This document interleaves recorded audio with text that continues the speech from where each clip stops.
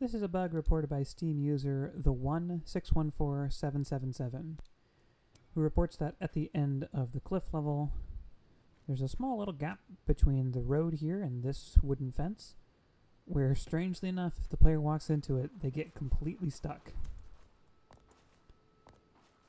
You can hear the player get stuck in a sliding animation. And normally, a sliding animation will bring the user to the bottom of the hill that they're on. They can just walk away. Can't do that here because there's a fence.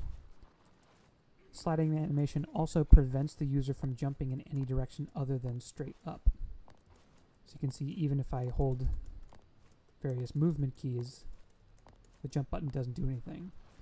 And on top of it, this fence is not a mantleable surface. So this kind of creates the perfect storm where even though this gap is pretty small and doesn't look like a human should be able to get stuck here, that's exactly what happens.